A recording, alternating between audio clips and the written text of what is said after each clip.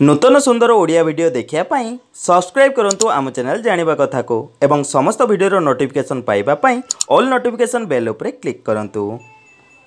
ବନ୍ଧୁଗଣ ସୁସ୍ଥ ଜୀବନ ପାଇଁ ନିହାତି ସୁସ୍ଥ ଖାଦ୍ୟପେୟର ବହୁତ ଆବଶ୍ୟକତା ଅଛି। ଏହାଠୁ ବି ଅଧିକ ଜରୁରୀ ଅଟେ ଆପଣ କେଉଁ ସମୟରେ କ'ଣ ଖାଉଅଛନ୍ତି। ସାଧାରଣରେ ଦେଖାଯାଏ ଲୋକ ହେଲ୍ଦି ଜିନିଷର ସେବନ ତ କରିଥାନ୍ତି କିନ୍ତୁ ଟାଇମିଂ ଗଡ଼ବଡ଼ ହୋଇଯାଏ। ଏହି କାରଣରୁ ସବୁକିଛି ଖାଇ ମଧ୍ୟ ସେମାନଙ୍କ ଶରୀର ଲାଗେ ନାହିଁ। ଆପଣ ଦେଖିଥିବେ ସକାଳୁ ଉଠିଲା ମାତ୍ରେ ଲୋକେ ଚା ବା କଫିର ସେବନ କରିଥାନ୍ତି। କ'ଣ ଆପଣ ଜାଣିଛନ୍ତି କି? ଏହି ଅଭ୍ୟାସ ଆପଣଙ୍କୁ ଧୀରେ ଧୀରେ ରୋଗାଗ୍ରସ୍ତ କରାଇଥାଏ। ଏମିତି କୁହାଯାଏ ସକାଳୁ ଉଠି ସର୍ବପ୍ରଥମେ ବ୍ରସ୍ କରିବା ଆବଶ୍ୟକ ଏବଂ ତାପରେ ଯାଇ କିଛି ଖାଇବା ଆବଶ୍ୟକ। ବନ୍ଧୁଗଣ କିଛି ଜିନିଷ ଏମିତି ଅଛି ଯାହାକୁ ସକାଳୁ ଉଠି ବାସି ମୁହଁରେ ସେବନ କରିବା ଦ୍ୱାରା ସ୍ୱାସ୍ଥ୍ୟ ପାଇଁ ବହୁତ ଲାଭଦାୟକ ଅଟେ। ଆଜି ମୁଁ ଆପଣଙ୍କୁ କିଛି ଏମିତି ହିଁ ଜିନିଷ ବିଷୟରେ କହିବାକୁ ଯାଉଅଛି। ଯାହାକୁ ବାସି ମୁହଁରେ ସେବନ କରିବା ଦ୍ୱାରା କ୍ୟାନ୍ସର ମୋଟାପଣ କୋଷ୍ଠକାଠିନ୍ୟ କବଜ ରକ୍ତର ଅଭାବ ଭଳି ଗମ୍ଭୀର ରୋଗରୁ ଆରାମ ମିଳିଥାଏ। ପ୍ରଥମତଃ ଗୁଡ଼ ଏବଂ ଗରମ ପାଣି। ଆୟୁର୍ବେଦ ଅନୁସାରେ ବାସି ମୁହଁରେ ଗୁଡ଼ ଓ ଗରମ ପାଣିର ସେବନ କରାଯାଏ ଯଦି ଶରୀରକୁ ବହୁତ ଅଧିକ ଶକ୍ତି ମିଳିଥାଏ। ଏହାଛଡ଼ା ଆହୁରି ଅନେକ ଫାଇଦା ମିଳିଥାଏ। ଗୁଡ଼ ଖାଇବା ଦ୍ୱାରା ଶରୀରରେ ରକ୍ତ ସଫା ହୋଇଥାଏ। ଯାହାଦ୍ୱାରା ନୂଆ ରକ୍ତ କଣିକା ବନିଥାଏ ଏବଂ ହୃଦୟ ସମ୍ବନ୍ଧିତ ରୋଗ ସବୁଦିନ ପାଇଁ ଦୂର ହୋଇଯାଏ। ଯଦି ଆପଣ ଦିନସାରା ଦୁର୍ବଳ ଅନୁଭବ କରୁଅଛନ୍ତି ତେବେ ଆପଣ ସକାଳୁ ଗୁଡ଼ ଅବଶ୍ୟ ଖାଆନ୍ତୁ। ଏହାଦ୍ୱାରା ଶରୀରରେ ଏନର୍ଜି ଲେଭେଲ୍ ବଢ଼ିଯାଏ। ସାଥିରେ ସୁଗାର ମଧ୍ୟ ବଢ଼ିନଥାଏ। ଯେଉଁ ଲୋକଙ୍କର ସହଜରେ ଭୋଜନ ପାଚନ ହେଉନାହିଁ ସେମାନଙ୍କ ପାଇଁ ଗୁଡ଼ ଏବଂ ଗରମ ପାଣି ଔଷଧର କାମ କରିଥାଏ।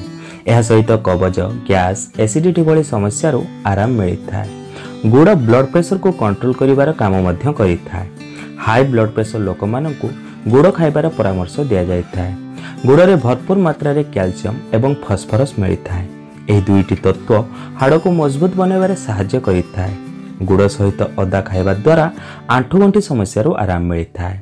ଦ୍ୱିତୀୟରେ କିସମିସ୍। କିସମିସ୍ ଶୁଖିଲା ଅଙ୍ଗୁରକୁ କୁହାଯାଏ।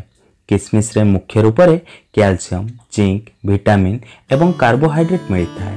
ଯାହା ଆପଣଙ୍କ ସ୍ୱାସ୍ଥ୍ୟ ପାଇଁ ବହୁତ ଲାଭଦାୟକ ଅଟେ।